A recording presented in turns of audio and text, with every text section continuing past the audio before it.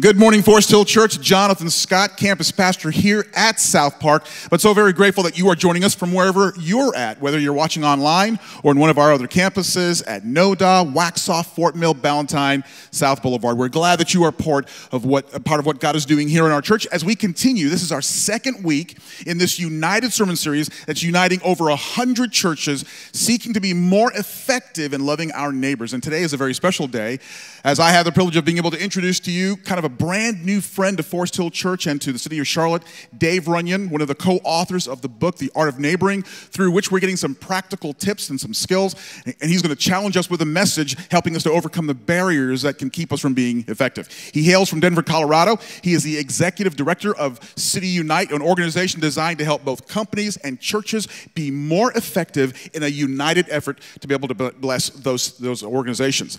He is married to Lauren. He's got four kids, and he is here today being able to help us move further. As a matter of fact, tonight, Dave's got a big, a big schedule today, but tonight he'll be back from 5 o'clock to 8 o'clock. We're going to gather as a church together, as the Church of Jesus Christ, with other city leaders, uh, church leaders. We're going to be here for some awesome food at 5 o'clock. Then we're going to have some a chance of being able to connect with one another with recreation. So we hope that you'll come back because then Dave will offer some very practical techniques and tips to encourage our effectiveness in being able to love our neighbors. So I'm very grateful for his presence, as I'm sure you are too, to be able to hear what God has to say to us through him. So, Forest Hill Church, would you please give a very warm Forest Hill welcome to our brand new friend, Dave Runyon.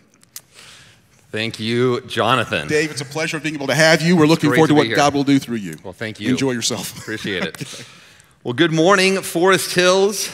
It's incredible to be here with you during this joint sermon series. As Jonathan mentioned, over 100 churches all across the city of Charlotte are joining together, setting aside their own agenda, and spending three weeks sharing the same message around literal neighboring. And I think it's a beautiful thing when churches begin to stack hands and to act and function like they're on the same team because we are on the same team. And so it's been amazing to watch what's happened here through Forest Charlotte and to see all of this evolve. What's happening here is very similar to what happened in my community, in my city, a few years ago. So I served as a pastor for 10 years in the Denver metro area. And during that time, a number of the pastors and leaders began to come together and to ask this question If we could only do one thing in our city, if we could go after one thing together, as the church, what's the smartest thing that we could do? And as we started to ask that question, first of all, we realized we didn't know the answer. And that was obviously an indictment on us as pastors. But once we got over that, we started to gather with local civic leaders. And so we went and set up these rooms where we would have the pastors in a room, then we'd invite in the police chief or the city manager. And a few years ago, we were sitting in the room with our mayor, and we asked him, if you could wave a magic wand and change something in our city, what would you change? And he had a number of things that he listed off to us. He wanted to live in a city without elderly shut ins and without single moms below the poverty line and with no financial debt. And he had all of these great things, but at the end, he said something in passing that really just changed the trajectory for all of our churches. He said, You know, if you guys want to have the biggest impact in our community, you should start some kind of a neighboring movement. And then he kind of just went on. We're like, No, no, go back to that. He said, Yeah, you know, what we're learning is that we could start more programs for people who are in need, or some of those people could live on a block in an apartment complex where they're known by their literal neighbors. And through those relationships, they would be cared for and they wouldn't even need the programs that we're trying to raise money for and keep afloat.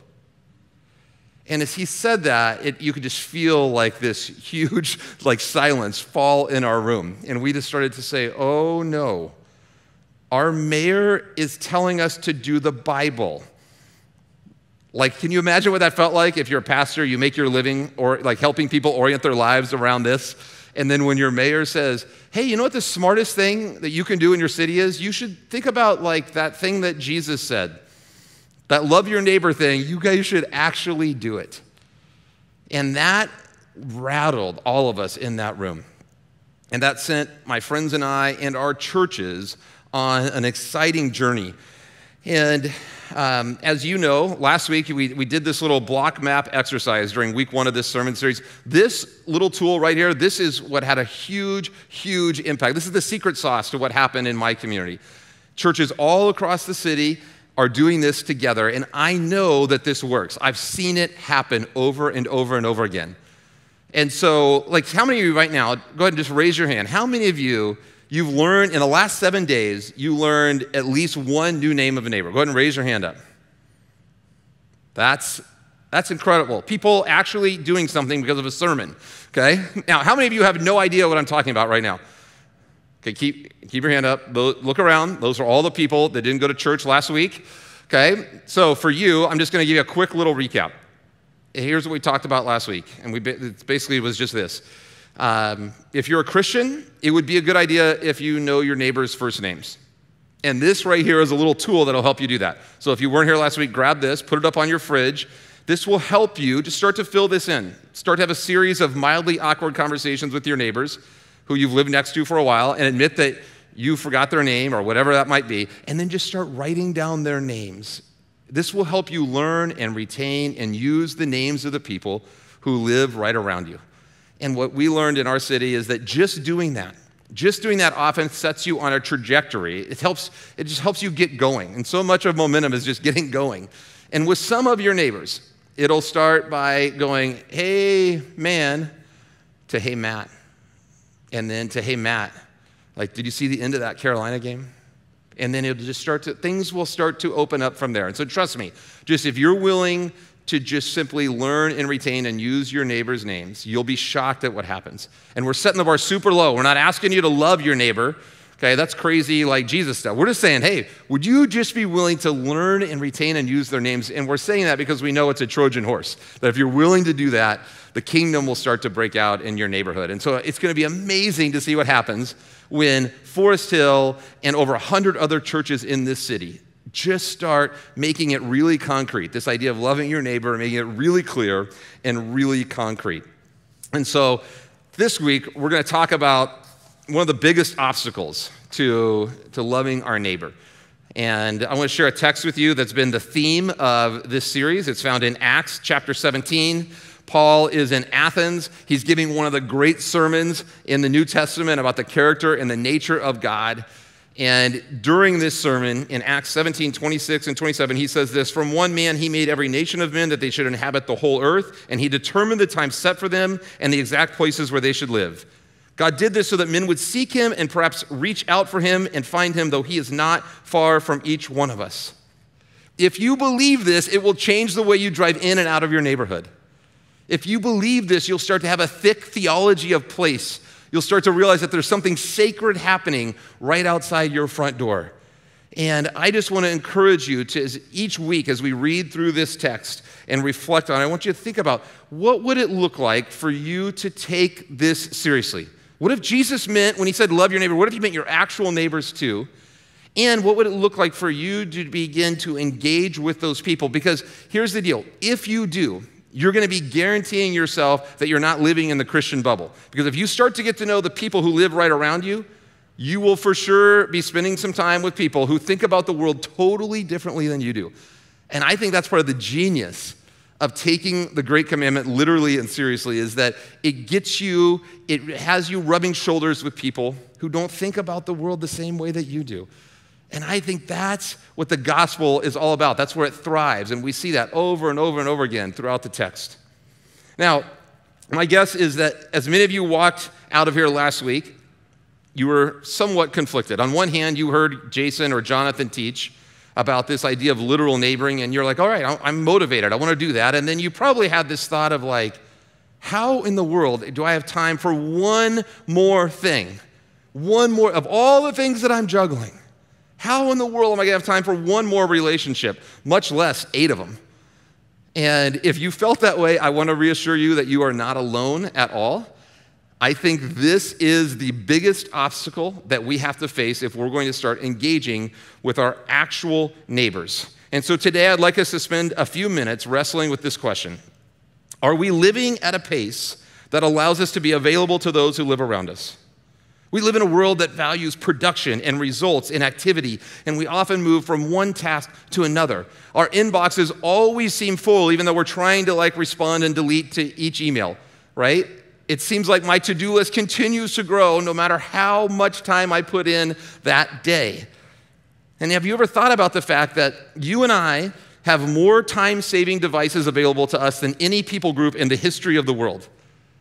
But at the same time, we feel like we have less time than ever.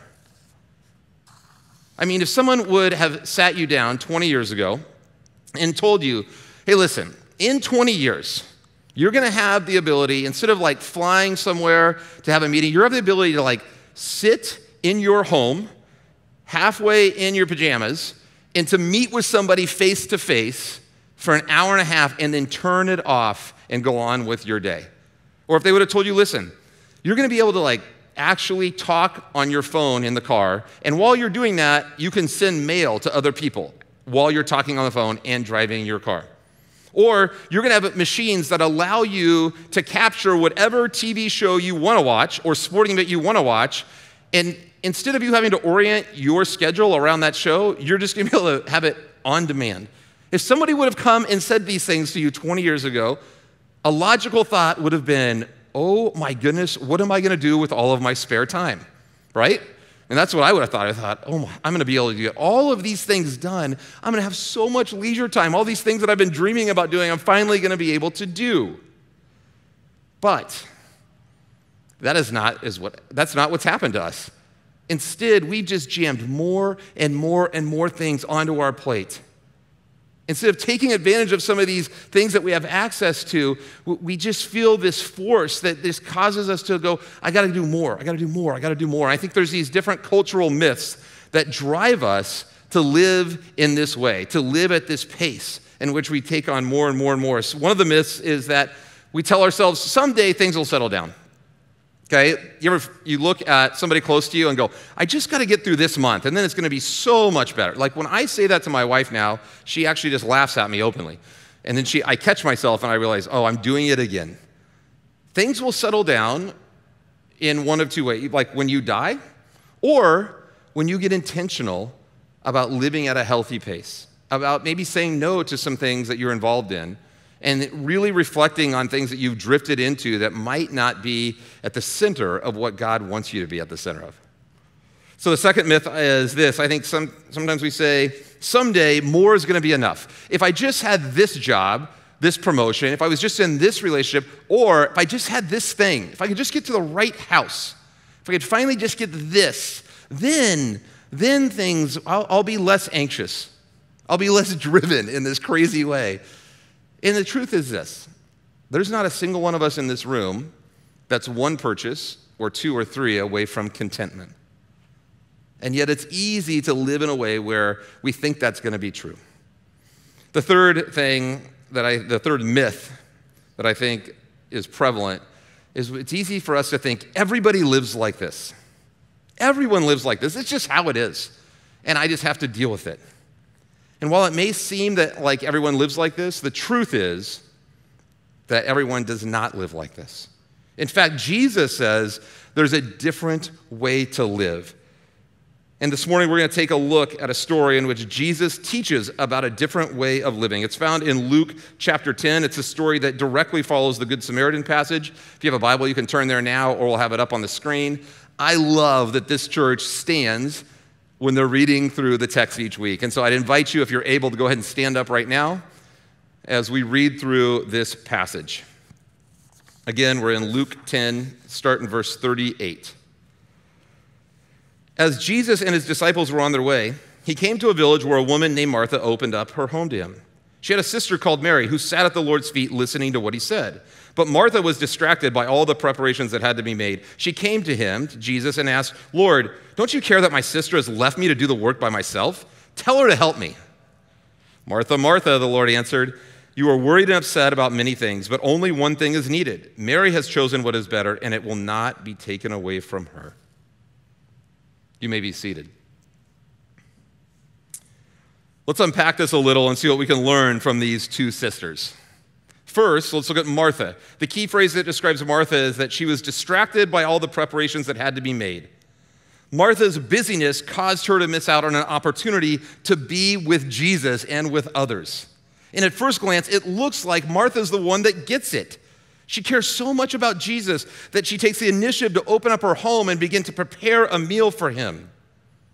But as we take a closer look, we learn that Martha has become distracted. She is rushed and she hurries to get everything done and she misses the main thing. Has this ever happened to you? Have you been like so dialed in on the details to something big that you got so focused in and you missed out on the thing that you were preparing for? One of the great privileges I get as a pastor is to be a part of performing wedding ceremonies. And one of the things that I've noticed is that oftentimes we'll go through the whole ceremony and then I get this moment to be in the back and we're signing the marriage certificate or whatever it might be. And many times I've seen one, either the groom or the bride, look at the other and go, Was that it? Is it, is it really over? It felt like such a blur. And I just think to myself, Oh no, you got so focused in on the preparations that had to be made for this massive event and the checklist and everything that you actually missed it. And one of the things that Jesus is teaching us here is that there's a danger of missing the point when it comes to our spiritual lives. That's what happened to Martha. A book that has had a significant impact on my life is The Life You've Always Wanted by John Ortberg. And one of the most powerful parts of the book is when Ortberg states that hurry is the great enemy of spiritual life in our day.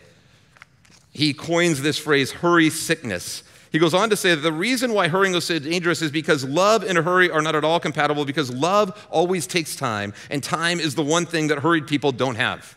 Let me say that again.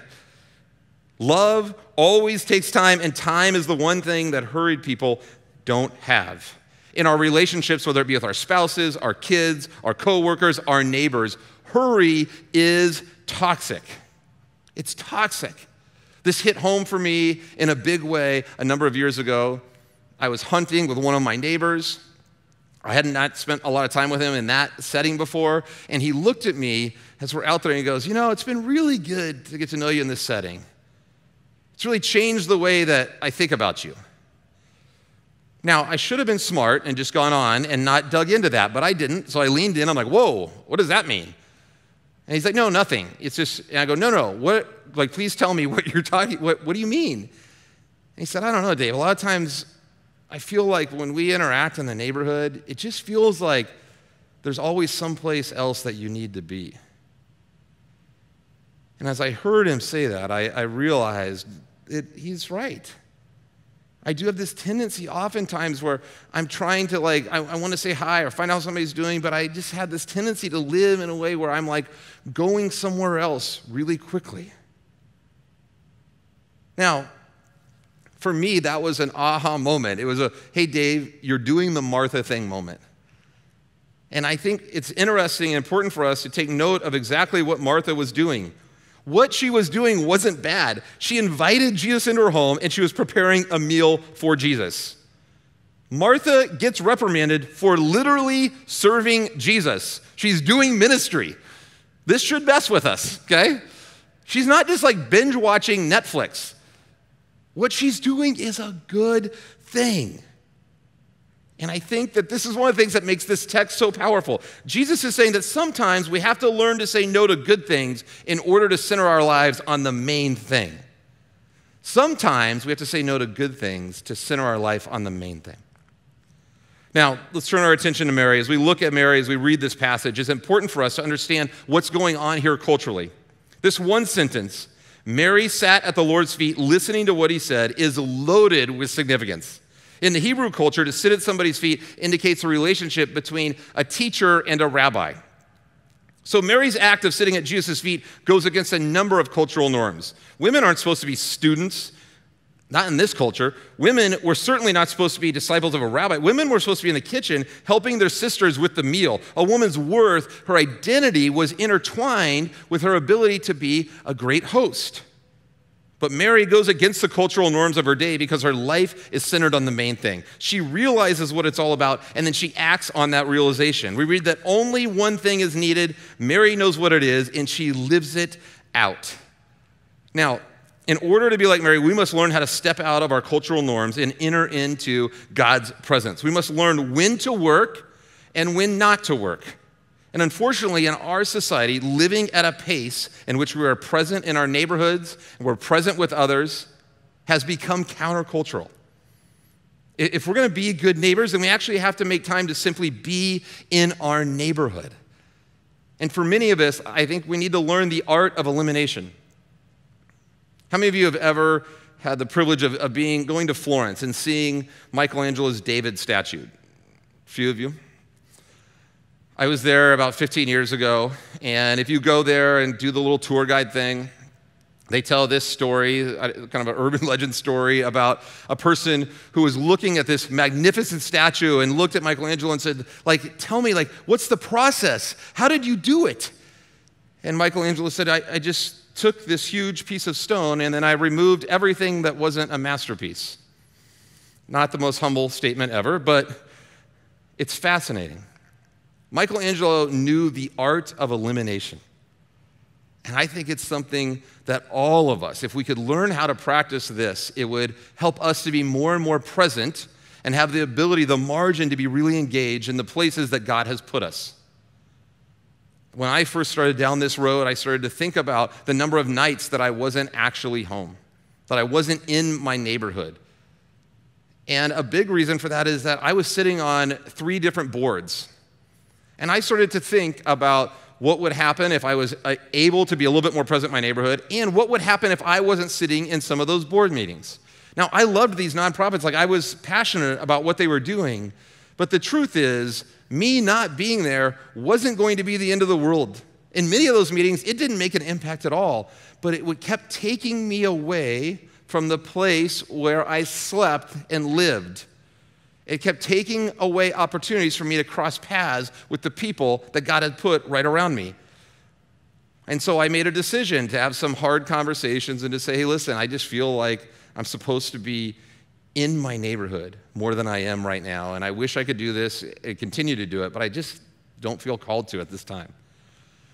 Now, I don't know what it might be for you when you think about what are the things that continually take you out of your neighborhood, but I would encourage you to just pray about that and say, God, have I drifted into some things that I actually shouldn't be involved in so that I can be a little bit more present, so I can be a little bit more available right where you've put me?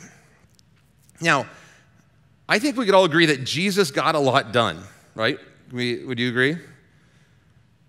It's interesting to note, though, Jesus never seems hurried. He doesn't seem like a rushed, like ambitious, driven, you know, like I'm just going to live at this crazy pace with my hair on fire, right?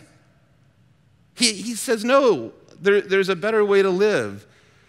To live like to be engaged, but to also be intentional about resting and pulling away. And I think this is, would be one of the great apologetics for our culture.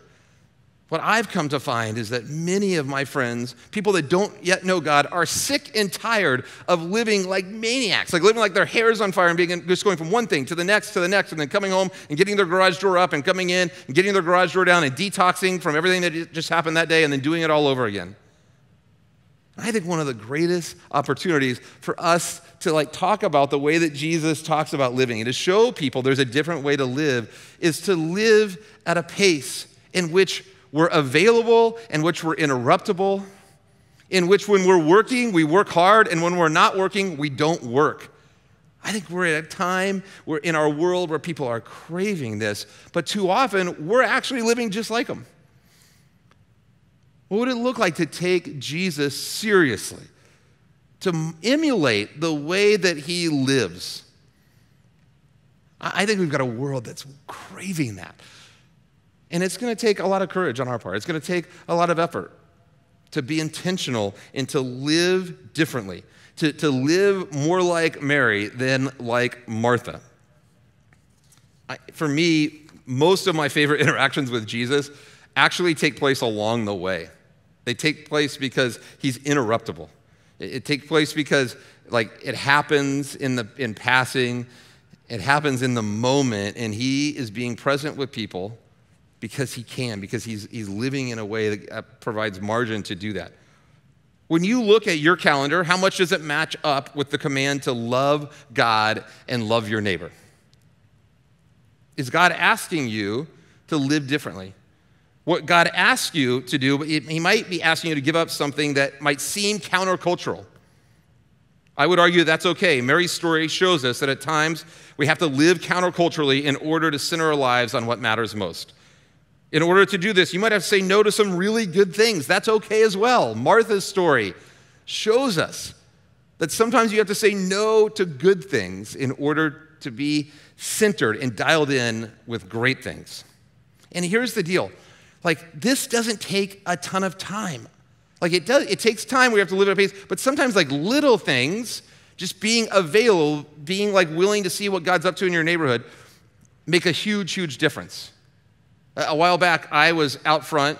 My neighbor was out front and he was working on his yard. My neighbor's yard looks like the fairway on a golf course. Mine doesn't. They're right by each other. And I just looked at him and I just said, Hey, Rod, help me make sense of this. Okay, very simple question. And he just like comes alive. He just like goes off and he's like, Okay, so January, and then he's like, now mid January, then I do this. And then, I, and I mean, he took me all the way through the year. And I remember just like listening and listening. It was like a, it was like a seven minute sermon. And I remember he got to the end, and I remember thinking myself, this totally isn't worth it. now, but that's not what I said. What I said was fascinating. Fascinating. And, and there was something really important that happened just by spending those eight minutes, just by one being available, being in my front yard, and then just by taking eight minutes to listen to somebody, there was this exchange of like passion and interest on his behalf. And, and there was some kind of dignity and relationship building that happened just by being able to sit and ask a question. And that takes, that takes time. It takes it, not, not much, but it does take time. And so, as you leave here today, as you go on your way out, I want to encourage you to take some time this week to linger in your front yard, or if you live in an apartment or a condo, to hang out in the common space and to see what God does. To just be available, be aware, realize that there's something sacred happening, that you're placed where you are for a reason. The people who are around you, they're there for a reason too. And what the text says in Acts is that so that when they reach out for God, that they'll have handles to grab onto. How cool is that? That they'll have handles to grab onto. And so what my friends and I have learned is this, is that if you will take this and put it on your fridge and use it, start to fill in these different squares. And, you know, and I know your neighborhood doesn't look like this, okay? So just think about you walk out your front door, what are the eight closest units or houses to you? And if you will put this on your refrigerator and, and just begin to like allow this to be a way that you can remember your neighbor's names and to use them when you see them. If you'll do that, and then if you will like pray this dangerous prayer, and the prayer goes like this God, what's the next small step that you want me to take with one of my neighbors? And I'll tell you what, as I pray that prayer over and over again, I find that God will just, a little thought or a nudge will come into my head and it's usually it's simple. It's like, what's the next small step you want me to do with one of my neighbors? Maybe it's that, that couple that you've been saying you're going to have over for like two years. What if you actually had them over? So I feel like sometimes God will say that to me. Or, hey, like that one guy who used to talk to quite a bit, you haven't seen him in a while. Like, why don't you just go and check in and see what's going on in his life? Just that, it's a dangerous prayer because it makes this idea of engaging with your literal neighbors really, really concrete.